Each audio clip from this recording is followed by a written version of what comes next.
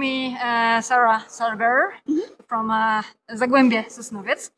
Uh, after the the game, which started good for your team, but afterwards, uh, uh, I think it, it was at the beginning the, the, the, the tough fight, I would say.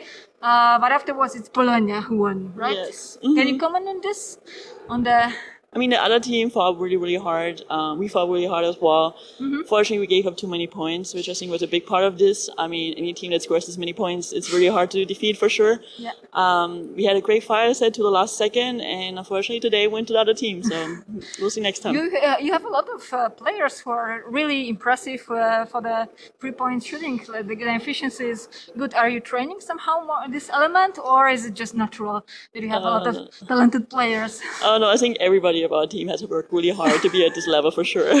It's not. I mean, of course, there's some talent in it for sure Mm-hmm. too, but everybody works very hard, and in practice, we work very hard as well on that.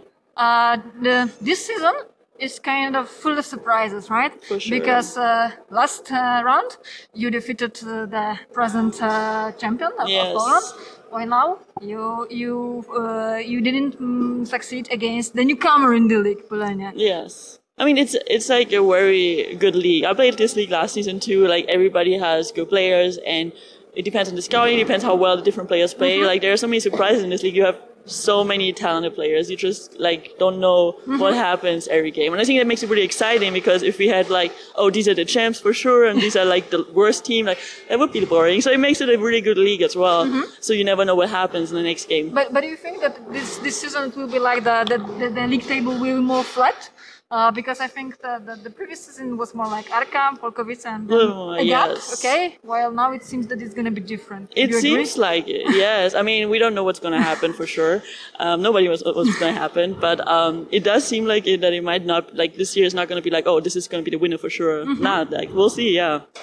Definitely agree. And for, for your team, I would say that it's like um, the core of the team is built on a fourth ring players. Mm-hmm. And we saw today when, for instance, one of them is fall, fall out, you're getting a little bit in trouble. Yes, that is very true. Like, um, I mean, we do tell other players they do step up at times for sure. They get better and better in it, which is good because we need the help. Because as as you said today, one of like Aisha, like one of our best players for sure, like is like oh, like we are built of four players pretty much right now, and one Polish player, and um, yeah, it's really important for us to play good and not fall out and not get into the situation. Um, which I think Aisha tried today, but it kind of got out of, it was out of her control at this point, I feel like. Um, but also, yes, we do need other players to step up. I mean, I think like C, uh, saying, um, like she really stepped up today in her minutes. She did a very good job. And also some of the other Polish players, they, um, play well in the minutes and they're getting better and better. Okay, good luck. Thank you. good luck with that. Uh, just one more question. Oh yeah, sure.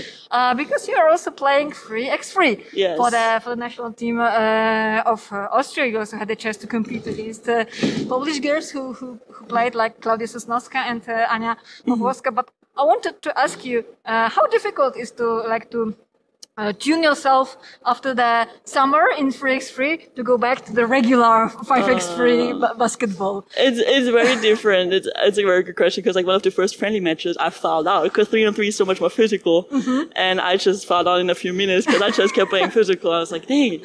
So yeah, no, really. Um, I mean, I did like end up taking a break for three on three a little bit and worked on five on five before coming here. So I do did trans- work on the transition. Mm-hmm. Okay. But uh, yes, it's definitely different. but also it helps though. Some of the three on three aspects help for the five on five, so it's really good too. So what, what are the benefits for you from the 3x3 to, to 5 on 5? Well, 5, 5, 5, 5? three and three is very quick. So like for me as a tall player, I gotta be quick and. I For the decisions as well, right? Yes, decisions are very quick. Like, and you have to play. You have to play defense on everybody, which is Mm-hmm. very beneficial to. Um, for me, it's beneficial because I'm tall and then I can be quick as well. Okay. Or also, you have to shoot a lot of threes. Like three and three depends on shooting threes a lot, so you have to get your efficiency up on that. So And- that's that's where you train your shooting efficiency. Yes. exactly, exactly. okay, thank you. Very much.